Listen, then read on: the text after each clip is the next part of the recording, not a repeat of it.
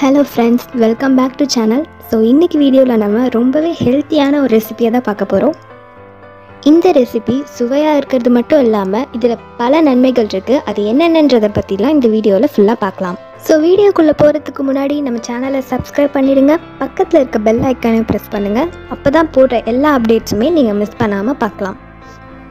இன்றைக்கி நம்ம பண்ண போகிறது முருங்கைக்காய் மிளகு குழம்பு. இந்த குழம்புல சேர்த்துருக்க எல்லா பொருட்களுமே நம்ம உடம்புக்கு ரொம்பவே ஆரோக்கியம் தரக்கூடியது.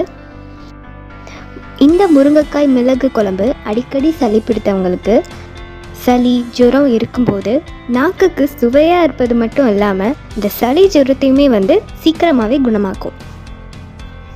ஆஸ்துமா ஈஸ்னோஃபீலியா மற்றும் நுரையீரல் சம்பந்தப்பட்ட நோய்கள் அறவே நீங்கும். இரத்தத்தை சுத்தம் செய்வதோடு நோய் கிருமிகள் அண்டாதவாறு நோய் எதிர்ப்பு சக்தியை கொடுக்கும். முருங்கைக்காயில் அனைத்து ஊட்டச்சத்துகளும் இருப்பதால் உடல் பலவீனம் நீங்கி உடலை பலப்படுத்தும். மற்றும் நரம்பு தளர்ச்சி நீங்கி உடலை வந்து சுறுசுறுப்பாக செயல்பட வைக்கும். முருங்கைக்காயில் இரும்பு சத்து அதிகமாக இருக்கிறதுனால ரத்த சோகை வராது. இந்த குழம்புல மிளகும் சேருவதால் உடலில் தேவையற்ற நச்சுக்கள் சேராமல் நீங்கிவிடும். மொத்தத்தில் இந்த குழம்பு சுவைமிக்க சத்தான குழம்பு என்பதால் உடல் நலம் கருதி வாரம் ஒரு முறை உண்பது ஆரோக்கியம் தரும்.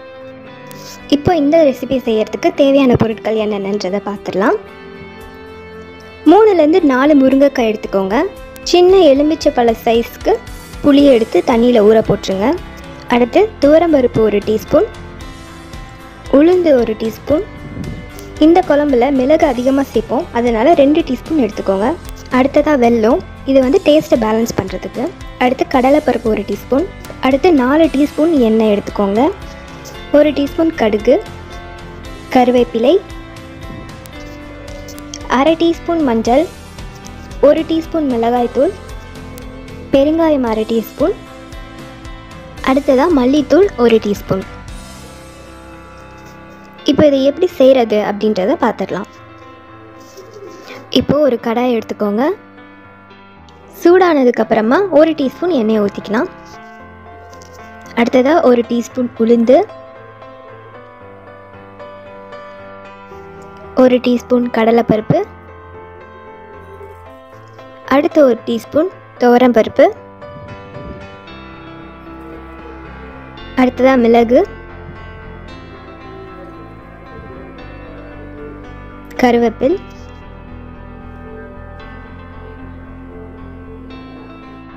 கடைசியாக அரை டீஸ்பூன் பெருங்காயம். இப்போ இது எல்லாத்தையுமே நல்லா வறுத்துடலாம். கொஞ்ச நேரம் கழித்து வறுப்பட்டதுக்கு அப்புறமா ஒரு டீஸ்பூன் மல்லித்தூள் ஆட் பண்ணிக்கோங்க. இப்போ கொஞ்சம் ஆறுனதுக்கு அப்புறமா இதை வந்து நல்லா அரைச்சி எடுத்துக்கலாம். இப்போ வந்து பேஸ்ட்டாக அரைச்சி எடுத்தாச்சு நம்ம. இப்போ திரும்ப ஒரு கடாயை வச்சுக்கோங்க. சூடானதுக்கப்புறம் எண்ணெய் ஊற்றிக்கோங்க ஒரு மூணு டீஸ்பூன் நீங்கள் ஊற்றிக்கலாம் இதில் கொஞ்சம் அதிகமாக எண்ணெய் ஆயிடுச்சு. எண்ணெய் சூடானதுக்கப்புறம் கடுகு. இப்போ கொஞ்சமாக கடலைப்பருப்பு.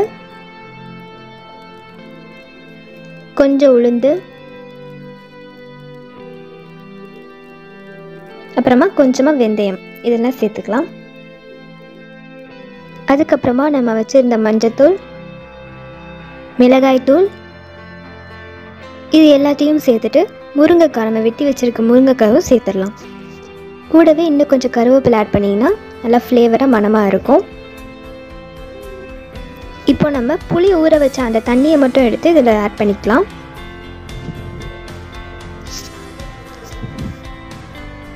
அடுத்ததாக நல்லா மிக்ஸ் பண்ணி விட்டுக்கோங்க. இப்போ கொஞ்சம் தேவையான அளவுக்கு உப்பு சேர்த்துக்கலாம். இப்போ முருங்கைக்காய் நல்லா வேகணும். அதுக்காக நம்ம தண்ணி சேர்த்துக்கலாம். இப்போ நல்லா கொதித்து முருங்கைக்காலாம் வெந்துருச்சு. இப்போ நம்ம அரைச்சி வச்சுருந்தோம் இல்லையா? அந்த பேஸ்ட்டை இது கூட நம்ம சேர்க்கலாம். இப்போ வந்து நல்லா மிக்ஸ் பண்ணி விட்டுக்கோங்க. ரொம்ப திக்காக இருந்தால் அதில் கொஞ்சமாக தண்ணி ஊற்றி நல்லா மிக்ஸ் பண்ணி விட்டுக்கோங்க. நல்லா கலந்து விட்டு கொஞ்ச நேரம் கொதிஞ்சால் போதும். கொஞ்சதுக்கப்புறம் அடுப்பு ஆஃப் பண்ணிக்கலாம். அவ்வளோதான் நம்மளோட முருங்கைக்காய் மிளகு குழம்பு ரெடி இதில் சுவை மட்டும் இல்லாமல் ரொம்ப மருத்துவ குணமும் அதிகமாக இருக்குது கண்டிப்பாக நீங்கள் எல்லோரும் வீட்டில் ட்ரை பண்ணி பாருங்கள் வாரத்தில் ஒரு முறை சாப்பிட்றது ரொம்பவே நல்லது. இன்னும் நிறையா ஹெல்த்தியான recipe health tips beauty tips எல்லாத்தையும் பற்றி தெரிஞ்சுக்கிறதுக்கு சேனலை சப்ஸ்கிரைப் பண்ணுங்கள் கூடவே பக்கத்தில் இருக்க பெல் ஐக்கானையும் ப்ரெஸ் பண்ணிக்கோங்க. அப்போ தான் நாங்கள் போடுற எல்லா அப்டேட்டுமே நீங்கள் மிஸ் பண்ணாமல் பார்க்கலாம்.